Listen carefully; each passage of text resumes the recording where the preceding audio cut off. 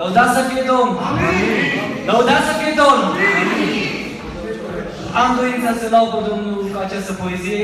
Vă spun sincer, n-am avut gândul să fac această poezie, dar întâi mi-a dat-o Dumnezeu un dar și a doua fratele Tibi mi-a dat-o. Și am băgat seama că da, e bine, da, e bine poezia aceasta. Și m-am mișcat. Dacă ne uităm în Luca, capitolul 11 cu 33, ne spune să fim o lumină. Și lumina noastră să nu punem sub baniță, ci să punem într-un șveșnic. Și atunci, oricine va intra, să zicem, în casele noastre, să vadă lumina aceea. Și Dumnezeu ne vrea să fim o lumină pentru toți. Vă rog să meritați poezia mai lungă ca de obicei. Și Fie drumul cât de greu, fie lupta cât de mare, Domnul ne-a chemat să fim în această lume sare. Dumnezeul nostru veșnic, Dumnezeul îndurării, ne-a zis, arătați la oameni pocăința, gustul sării. Pocăința fapte sfinte, o viață fără pată, chiar și vorba să ne fie de cuvântul sfânt sărată, să fim în bucate de sare, să dăm gustul bun mâncării, să găsească cei ce caută masa binecuvântării, să putăm în noi tăria și puterea conservării, ca și țara din oceane și din adâncimea mării. Câte calități subtile te găsești în ascuns în sare, ape, diferite ape la izvoare manare, chiar și grâu și verdeață, tot ce prinde rădăcină, fără sare n-ar mai fi nicio grădină. Dumnezeul Creatorul n-a uitat să pune sare, căci pământul nu-i cum credeți doar o oarbă întâmplare. Din același pământ care ies rădăcini sate, crește portocala dulce, iar lămâia foarte altă. Câte gusturi diferite se înalță din noroi, vitamine îndulcite și sărate pentru noi. Să purtăm în noi statura chipului noului Adam, să fim credincioși ca fii credinciosul lui Avram, pentru zeci de comparăți, explicate bilduri, în Scriptura Sfântă, sarea are același obliviri. Voi sunteți în rugă sare, dar de când am devenit? Întrebarea ce se spune nu e greu de tulcuit. De când ne-am întors la Domnul, de când El ne-a botezat, cu credință și iubire El în suflet ne-a sărat. Iată-le, făpturi ciudate transformați în stâlp de sare. Asta e însă calitatea cea mai sfântă, cea mai mare. Roada care o numește Cartea Sfântă, înfrânare, să te luți cu tine însuși și să vii ce înseamnă sare.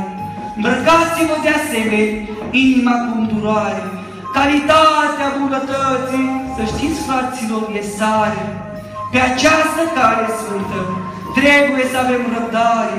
Iată altă calitate care se numește sare. Sare și îmbrăcămintea după gustul creștinesc.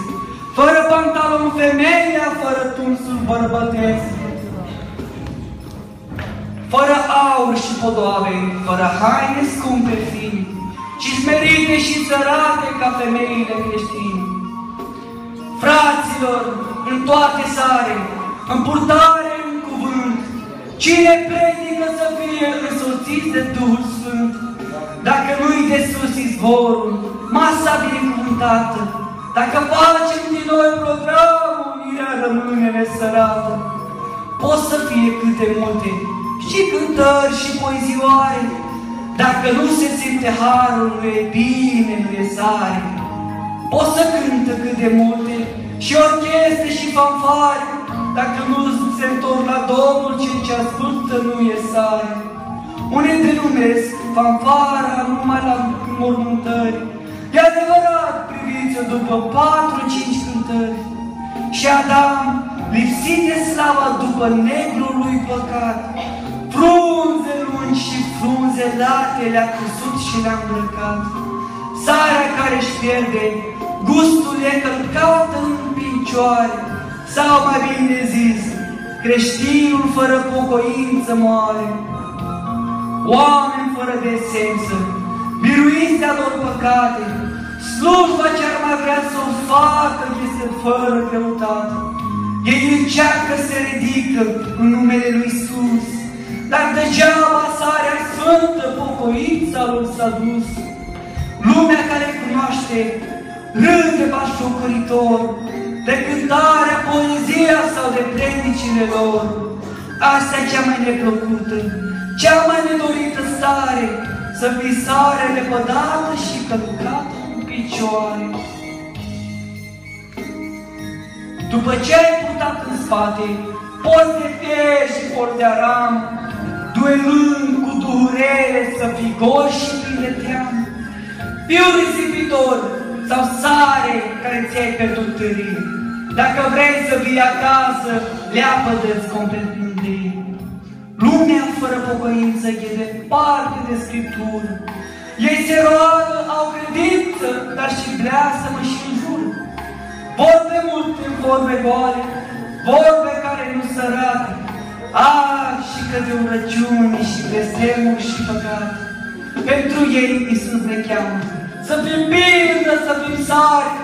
Ei văzând noi pe Domnul să se întoarcă din pierzare. Pentru ei și Lot, Lot, sărmanul, sufletul și închinuiește, ca să stea în Sodoma Dumnezeu îngăduiește. Pentru ei bătrânul noi a fost o pildă, a fost sare. Fraților, sfârșitul vine, însă nu i-a dat crezare. Dar dar îi găsește vină. Daniel, ce om ales, el învinge prin credință al păganilor proces. Pentru toți, Pilat rostește, nu găsesc în el vreo vină, căci Iisus Mântuitorul a fost sare și lumină. Oameni răstigniți pe cruce, aruncați de mii la fiare, oameni care pentru alții au fost pildă, au fost sare, nu aș vrea să înțelegeți adevărul încălcit.